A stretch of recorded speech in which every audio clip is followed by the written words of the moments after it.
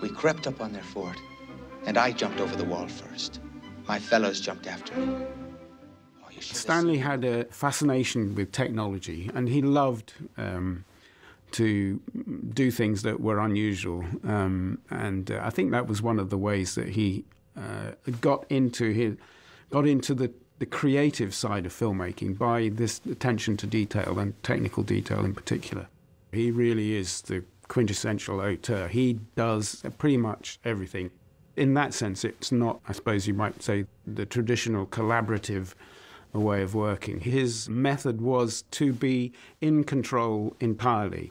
It was always possible to discuss, contribute, uh, suggest things, but eventually the edit uh, was as he would have wished.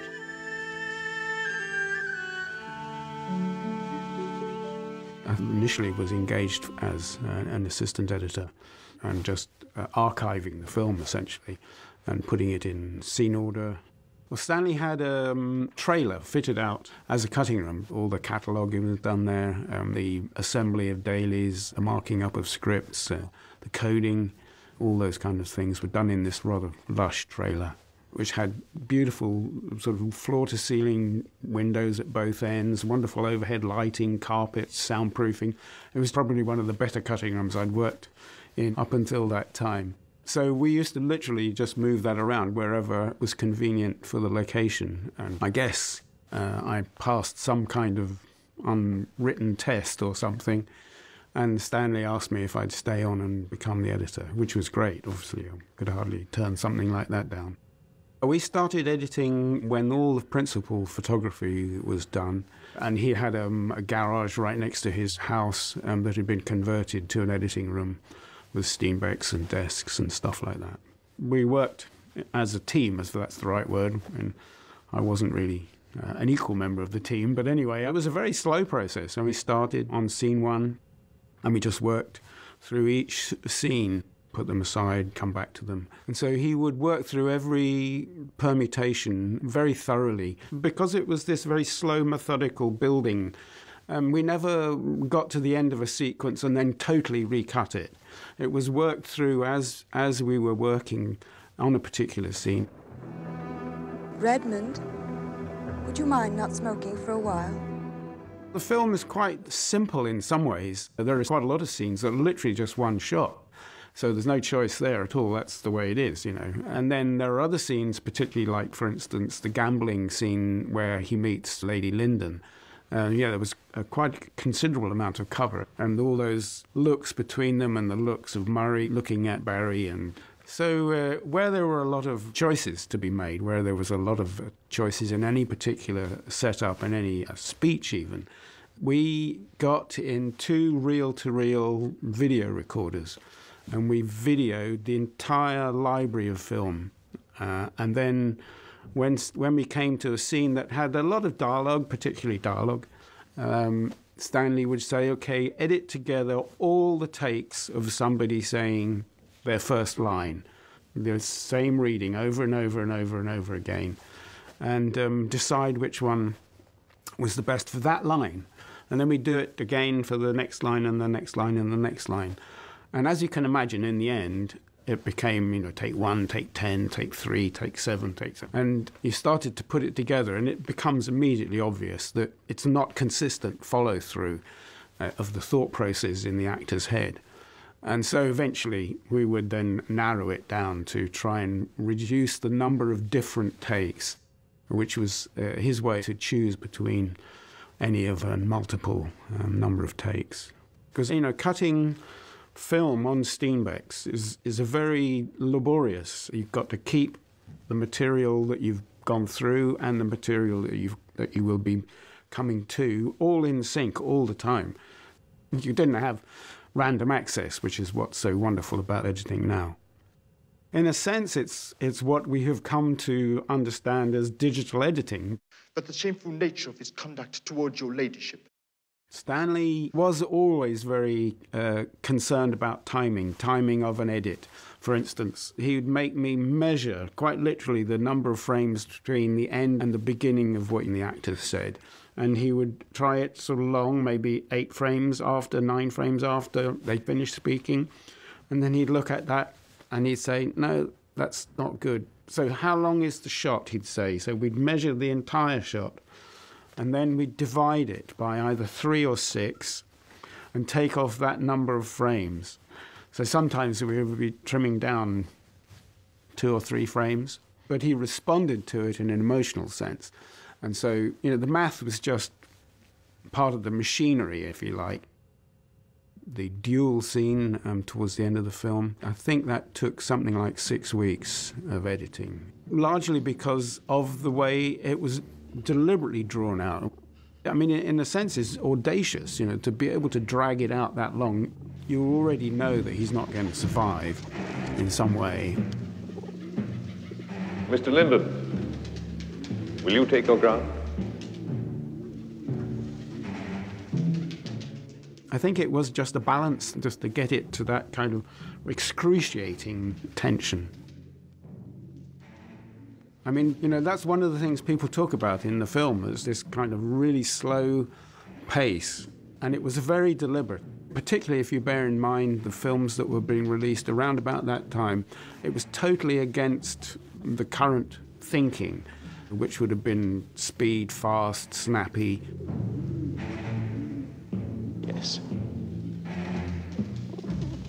Uh, you know, zooms, when they were used, and they were used quite a lot around that period, were really fast and or they'd be used as a crash zoom almost. But Stanley just went all the way back and took it back to this uh, sort of tapestry that he would just expand on and expand and expand and expand. I think that he did that as a way of saying, I don't have to do this the way you do it, I'm doing it my way. It's a blessing to see my darling boy has attained a position I always knew was his due. We tried, like the old fashioned silent movies, um, where there'd be title cards between scenes and things like that. Um, but we felt that that slowed the film down just too much and it stopped it in a sense. Uh, and then we tried uh, narration uh, and gradually worked through uh, different narrators um, and eventually ended up with Michael Hordern reading um, the narration. If he had I think it does increase the tension because it gives you a little bit of advanced knowledge, yet you're being forced to wait for it.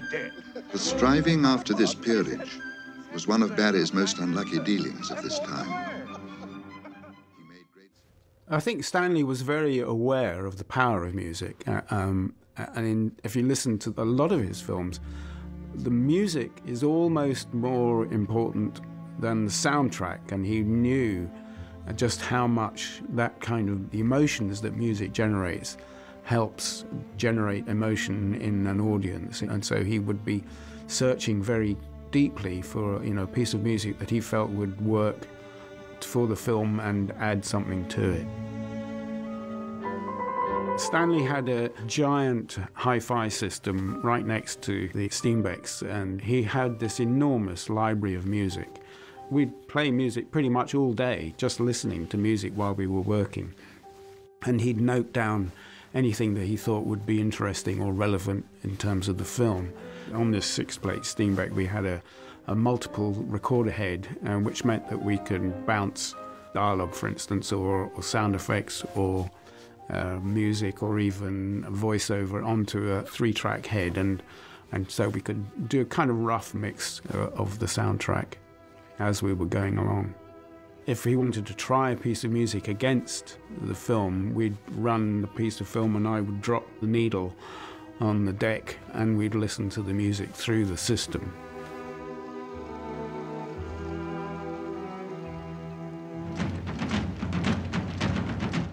When we came to record the music for the British Grenadiers, one thing that happened that was uh, quite amusing, although perhaps not for those involved, uh, was an incident between Stanley and Leonard Rosenman regarding a click track um, that kept in time in order to be able to cut the sequence. The click track was literally a mechanical drum beat, essentially. It's just go click, click, click, click. It's not a drum, it's just a mechanical noise. Because obviously the marching has to be in time with the music and it's got to be consistently all the way through. So when we came to record the music during the post production, um, the first time that uh, Leonard um, had to conduct, we had to feed him this click track. If you've ever heard a click, click track, particularly if it goes on for a long time, it's really annoying. It's click, click, click, and it's a very harsh, sharp noise. And so by the first time uh, they'd recorded the one pass of the drums, uh, Leonard wanted to replace the click track with the first recording of the drums and then use that to record subsequent takes so that the, the layers of drums were built up. And Stanley wouldn't let him because he felt he had to retain the original um, tempo in case there was any kind of variation in the in the recording of the drums. So he made him listen to the click track. I can't now remember, but probably five or six times. And I think by the end, Leonard had really had enough, and he pulled his headphones off and just left the room. And uh, Stanley had to go after him and calm him down. when the film was finished, I and several of my fellow technicians used to have to go around the cinemas where it was going to play. And first of all, we had to check the light on the screen, so we had a special meter for checking the light on the screen and whether it was an even spread of light. And then we also had uh, sound meters to check whether the speakers were all playing correctly. Uh, and so, and then once we'd got the f- screening room set up, we then ran the entire film just to check it through. I mean, in truth, uh, I saw it too many times at that point to remain with any judgment, you know, of the film itself. It was a fantastic experience. Obviously, we worked six, sometimes seven days a week, long hours, and so it was very engaging, and it was really took over a large part of my life, and it remains very strong in my memory as an experience that I really enjoyed and also suffered from.